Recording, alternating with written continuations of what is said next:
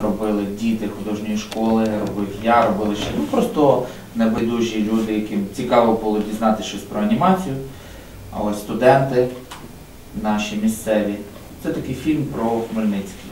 Вадим Подзвігун вперше взяв участь у громадських ініціативах та став переможцем. Він прагне створити у Хмельницькому анімаційну лабораторію.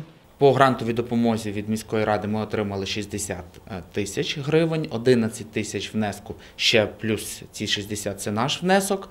Ось і власне за ці кошти ми будемо створювати. Анімаційну студію, тобто ми будемо закуповувати обладнання. Ну і головне, ми будемо шукати однодумців, ось які хочуть створювати анімаційне кіно, які хочуть його робити. Олена Голяк, керівник громадської організації Світанок, у конкурсі бере участь третій рік поспіль. За її ініціативи у Хмельницькому діє проект Сумка у пологи та створено кімнату для стіджування молока у відділенні для недоношених дітей Хмельницької міської дитячої лікарні. Цьогоріч у цьому ж відділенні впроваджуватимуть метод кенгуру. Ми виграли грант на створення такої кімнати палати сумісного перебування матері дитини, яка буде називатися поруч з мамою, де діток мама зможе виходжувати не в кювезах, як це зазвичай відбувається, не буде просто спостерігачем, як дитина її там е, як, як виходить її дитину, а буде брати участь на руках у мами.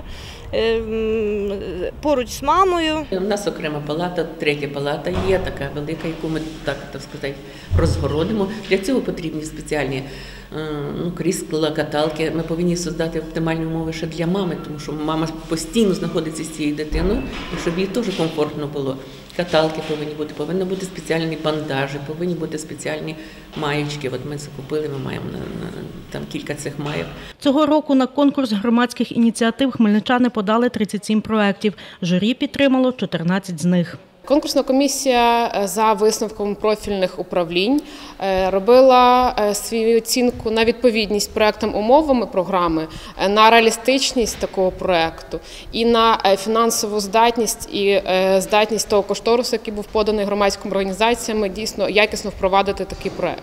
Проекти, які стали переможцями та отримали фінансування, ініціатори мають впровадити до кінця року. Тетяна Пресикар, Віктор Кривий та Дем'ян Цегольник. Новини Поділля Центр.